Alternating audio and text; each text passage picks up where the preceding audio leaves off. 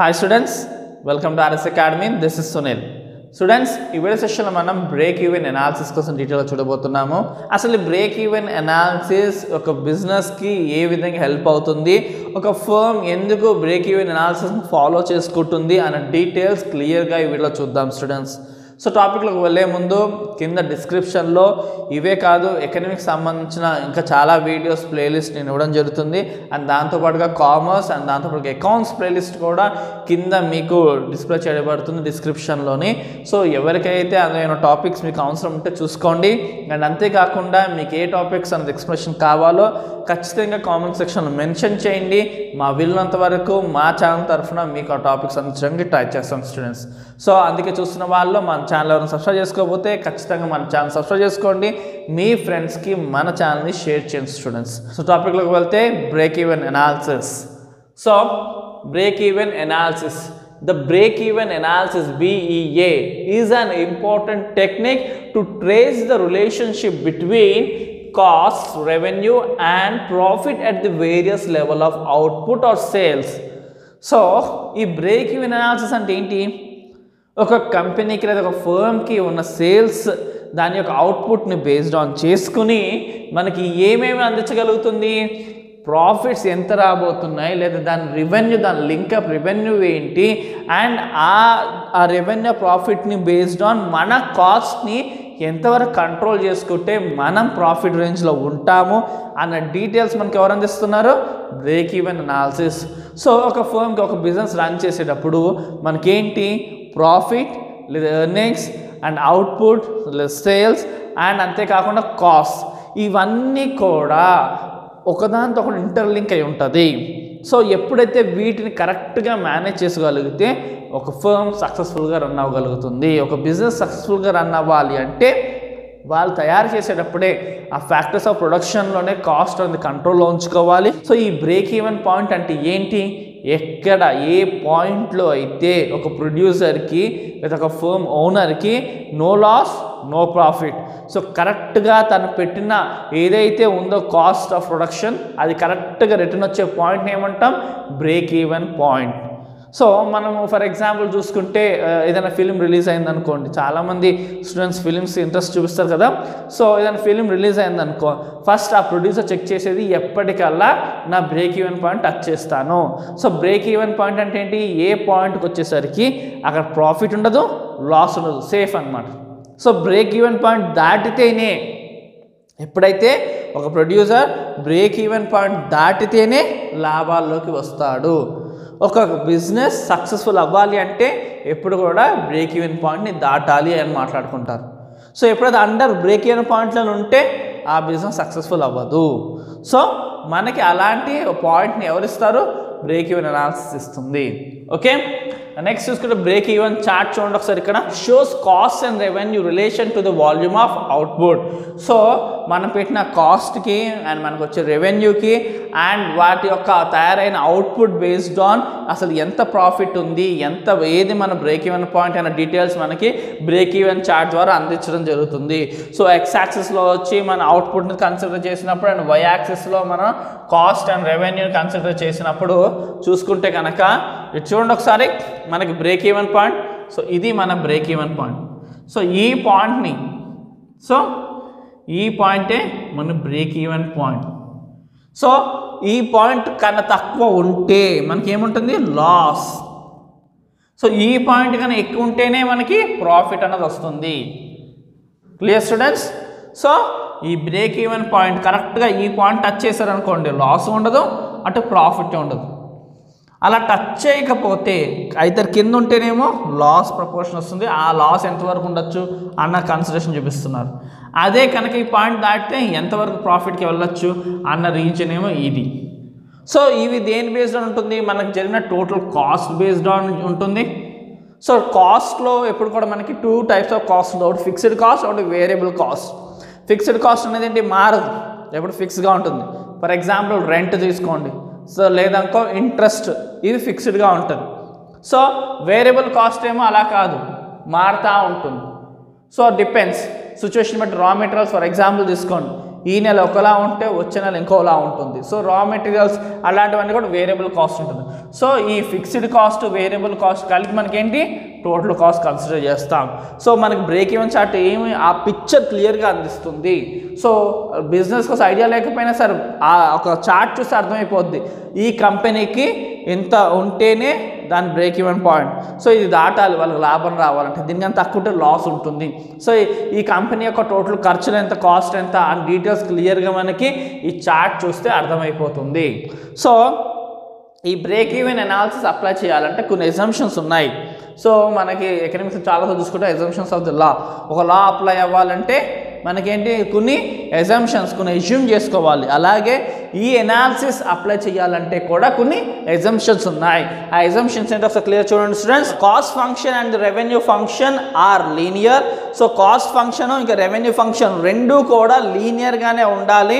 And అంతేకాకుండా the total cost is divided into fixed and variable cost so ఇందాక already మనం discuss చేసాం total cost అనేది two types కింద ఉండాలి. ఖచ్చితంగా అది ఫిక్స్డ్ కాస్ట్ ఇంకా వేరియబుల్ కాస్ట్ అయి ఉండాలి. ఫిక్స్డ్ కాస్ట్ అంటే ఎప్పటికి కూడా ఫిక్స్గానే ఉంటుంది. ఫర్ ఎగ్జాంపుల్ రెంట్ కానీ అది యానం మొత్తం ఒకేలాగా ఉంటుంది. సంవత్సరం పొడుగున ఒకటే రెంట్ ఉంటుంది. అండ్ ఇంట్రెస్ట్ సో ఇయర్ అంతా కూడా ఒకే ఇంట్రెస్ట్ వస్తుంది. అండ్ వేరియబుల్ కాస్ట్ అంటే రా మెటీరియల్స్ అది వీక్లీ మారిపోవచ్చు మంత్లీ మారిపోవచ్చు. దాని ఇష్టం ఎప్పుడు కూడా ఫిక్స్డ్గా ఉండదు. So variable cost fixed cost ఇలా రెండు కాస్ట్లు ఉంటాయి. ఆ రెండు కాస్ట్ కూడా కన్సిడర్ చేయాలి. అండ్ థర్డ్ ఎగ్జంప్షన్ వచ్చేసి the selling price is constant ఎప్పుడు కూడా సెల్లింగ్ ప్రైస్ ఎప్పుడు? కాన్స్టెంటే. అన్న ఎజంప్షన్ ఉన్నప్పుడే బ్రేక్ అనాలిసిస్ అప్లై చేయగలుగుతాం. ఎందుకంటే ఆ చార్ట్ అనేది కాన్స్టెంట్ ప్రైస్ బేస్డ్ తయారైంది కాబట్టి. The selling price is constant next so fourth assumption చూసుకుంటే the volume of sales and the volume of productions are identical so ఎంత వాల్యూమ్లో ఒక హండ్రెడ్ హండ్రెడ్ యూనిట్స్ లాగా తయారు చేయబడితే అలాగే హండ్రెడ్ యూనిట్స్లోనే అమ్మడం జరగాలి. సో ఒక కాటన్ లేకపోతే ఒక బాక్స్ తయారు చేసాం. ఒక బాక్స్లో హండ్రెడ్ పీసెస్ పెట్టి తయారు చేయడం జరిగింది కంపెనీ దగ్గర. సో అలానే డిస్ట్రిబ్యూటర్కి అమ్ముతాము. డిస్ట్రిబ్యూటర్ ఇష్టం తర్వాత ఎలా అమ్ముకుంటాడో అమ్ముకొని. కానీ ఫోన్ దగ్గర నుంచి డిస్ట్రిబ్యూటర్స్కి వెళ్ళేటప్పుడు మాత్రం బాక్సెస్ లాగా అమ్ముతున్నారు అనుకోండి బాక్సెస్ లాగా ప్యాక్ చేస్తే బాక్సెస్ లెక్కలోనే అమ్మాలి. సో అందుకోసం ఏంటి? The volume of sales and the volume of productions are identical so రెగ్యులర్గా మన మార్కెట్లో కూడా జరిగేది అలానే మనకి కంపెనీ నుంచి ఎవరైతే డిస్ట్రిబ్యూటర్స్ ఉన్నారో వాళ్ళకి బాక్సులు లానే వస్తుంది సో మనం సింగిల్ ఒక లేస్ ప్యాకెట్ కొనుక్కుంటాం. కానీ company single single Lay's packet లాగా అమ్మదు ఒక బాక్స్ లెక్క అమ్ముతుంది. సో ఒక బాక్స్లోని ఎన్ని ఉంటే ఆ లెక్కతో అమ్ముతుంది తప్పించి సింగిల్ పీస్తో ఎప్పుడు మాట్లాడదు. ఒక సింగిల్ బాక్స్ లెక్క మాట్లాడుతుంది. సో ఇక్కడ అదే the volume of sales and the volume of productions are always identical అనే ఎజంప్షన్లో ఈ అనాలిసిస్ అన్నది అప్లై అవుతుంది. And next average and margin productivity of factors are constant so ఎప్పుడు కూడా average productivity and margin productivity ఈ రెండు కూడా కాన్స్టెంట్ అనే ఎజంప్షన్లోనే ఉంటుంది. సో నెక్స్ట్ వచ్చేసి factor price is constant so factor price is constant అంటే ఫ్యాక్టర్ ప్రైస్ అంటే ఏంటి? కాస్ట్ ఆఫ్ ప్రొడక్షన్స్ అయిన ల్యాండ్ లేబర్ క్యాపిటల్ ఆర్గనైజేషన్ వీటి నాలుగుట్లకి పెట్టే ఖర్చు ఎప్పుడు కూడా కాన్స్టెంటే. సో ఫ్యాక్టర్ ప్రైస్ అంటే ఏంటి? ఫ్యాక్టర్ ఒక యూనిట్కి. అంటే ఏంటి? సపోజ్ ఒక లేస్ ప్యాకెట్ తయారు చేస్తున్నారు ఒక లేస్ ప్యాకెట్ తయారు చేయడానికి ఎంత ఖర్చు? లేబర్ ఖర్చు క్యాపిటల్ ఖర్చు ఆర్గనైజేషన్ ఖర్చు ల్యాండ్ ఖర్చు ఎంత అయిందో అది కాన్స్టెంట్గా ఉంటుంది. సో ఫ్యాక్టర్ ప్రైస్ అంటే ఏంటి? Factors of production. ఒక యూనిట్ ఒక వస్తువు రావడానికి ఈ చాక్ తీసుకోండి. ఈ చాక్ రావడానికి factors of production land labour capital organisation ఎంత ఖర్చు ఉంది అన్ని చాక్ పీసులకి అదే విధమైన ఖర్చు ఉండాలి. కాన్స్టెంట్ ఆ ఖర్చు అన్న ఎజంప్షన్ బ్రేక్ ఈవెన్ అనాలిసిస్కి ఉంది. సో చూడండి factor price is constant so factor price ఎప్పుడు కూడా constant and next the product mix ఈ stable in the case of a multi product firm so product mix అంటే ఏంటంటే సపోజ్ ఒక షూ కంపెనీ తీసుకోండి. So shoe company షూవే తయారు చేయదు షూ విత్ సాక్స్ తయారు చేస్తుంది. సో అతనికి ఎన్ని షూస్ సేల్ అవుతున్నాయో అందులో హాఫ్ సాక్స్ సేల్ అవుతున్నాయి. సో లేదా ఎన్ని షూస్ సేల్ అవుతున్నాయో అన్నే సాక్స్ సేల్ అవుతున్నాయి. సో అదే ఫిక్స్గా వెళ్ళాలి. అంటే ఈ ఎజంప్షన్ వైజ్ అలా ఫిక్స్గా వెళ్తుంది అనే ఎజంప్షన్లో ఈ అనాలిసిస్ అనేది అప్లై అవుతుంది. సో స్టూడెంట్స్ ఇవి వాటి యొక్క assumption of break even analysis next break even analysis యొక్క యూజర్స్ కోసం చూద్దాం. Usefulness of break even analysis microscope view of the profit structure of the firm microscopic view అంటే ఏంటి? మనము క్లియర్గా చూడొచ్చు ఇంచ్ టు ఇంచ్ సో ఏ యాక్షన్ ద్వారా మనకు ప్రాఫిట్ వస్తుంది? ఏ యాక్టివిటీ ద్వారా మనకి లాస్ వస్తుంది? అనే డీటెయిల్స్ మనకి క్లియర్ ఇంచ్ టు ఇంచ్ మనకి బ్రేక్ ఇన్ అనాలిసిస్ వల్ల తెలుస్తుంది.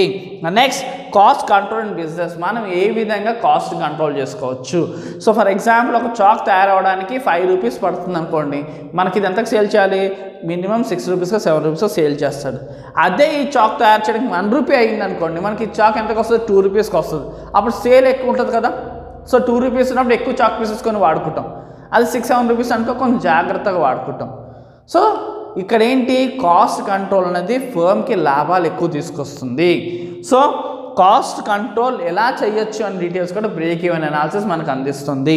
And next determining the safety margin so ఏ విధంగా మనం సేఫ్టీ మార్జిన్ ప్లాన్ చేసుకోవచ్చు లాస్లోకి ఎంటర్ అవ్వకుండా మనం సేఫ్టీ ప్లానింగ్ ఏ విధంగా చేసుకోవచ్చు కూడా మనకు బ్రేక్ ఈవెన్ అనాలిసిస్ అందిస్తుంది. And next determining the target sales volume so ఎంత అమ్మితే మన లాభాల్లో ఉండగలుగుతాము? సో కొన్నిసార్లు ఏంటంటే మనం అమ్మే సేల్ని బట్టి మన లాభాలు డిసైడ్ చేయడం జరుగుతుంది. సో ఎంత వాల్యూమ్ సేల్ అమ్మితే మనం సేఫ్ సైడ్లో ఉంటాము అని డీటెయిల్స్ కూడా మనకి ఎవరు అందిస్తారు? బ్రేక్ ఈవెన్ అనాలిసిస్ అందిస్తుంది. Next the break even analysis provides a flexible set of projections of cost and revenue under expected. So మనం ఎంతవరకు ఎక్స్పెక్ట్ చేస్తున్నాం ప్రాఫిట్స్ సో ఆ ప్రాఫిట్స్కి ఎంత వాల్యూమ్ అవుట్పుట్స్ ఉండాలి? ఎంతవరకు మన కాస్ట్ ఉండాలి? అన్న కొన్ని కాంబినేషన్స్ మనకి బ్రేక్ ఈవెన్ అనాలిసిస్ అందిస్తుంది. సో మెయిన్గా దీని యూజెస్ ఏంటి స్టూడెంట్స్ మైక్రోస్కోపిక్ ప్రతిదీ కూడా క్షుణ్ణంగా చూడొచ్చు. ఇంచ్ టు ఇంచ్ మనకి ఏ విధంగా మన లాభాల్లో తెచ్చుకోవచ్చు అని డీటెయిల్స్ తెలుస్తుంది. నెక్స్ట్ కాస్ట్ కంట్రోల్ బిజినెస్లో మనకి కాస్ట్ కంట్రోల్ చేసుకోవచ్చు అండ్ సేఫ్టీ ప్లానింగ్ చేసుకోవచ్చు. అండ్ అంతేకాకుండా ఎన్ని సేల్ జరిగితే మన లాభాలు వస్తాయో తెలిస్తే అంత టార్గెట్ పెట్టుకుని అంత సేల్స్ అనేది పెంచుకోవడానికి హెల్ప్ అవుతుంది.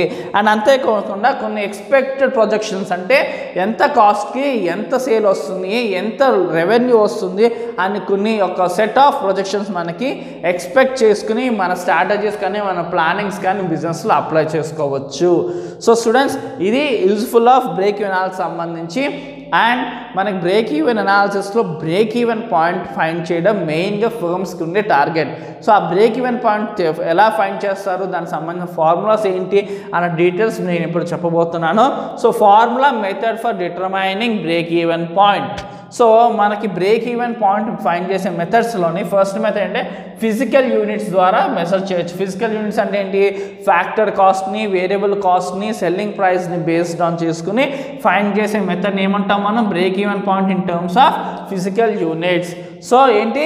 ఫ్యాక్టర్ కాస్ట్ లేదా factor cost variable cost and price వీటి మీద డిపెండ్ చేసుకుని బ్రేక్ ఈవెన్ పాయింట్ ఎలా ఫైండ్ చేస్తామంటే break even point is equal to TFC by P minus AVC so TFC అంటే చూడండి ఒకసారి స్టూడెంట్స్ బీఈపీ అంటే the break even point TFC అంటే ద టోటల్ ఫిక్స్డ్ కాస్ట్ అదే పి అంటే సెల్లింగ్ ప్రైస్ అని అర్థం అదే ఏవిసి అంటే యావరేజ్ వేరియబుల్ కాస్ట్ అని అర్థం. ఫార్ములా చూడండి break even points is equal to TFC by P minus AVC so next method sales based on చేసుకుని ఓన్లీ సేల్స్ బేస్డ్ చేసుకుని ఎలా ఫైండ్ చేస్తాము అంటే break even point is equal to total fixed cost by contribution ratio so sales ద్వారా find చేయాలి అంటే total fixed cost by contribution ratio so contribution ratio ఎలా కనుక్కుంటాము?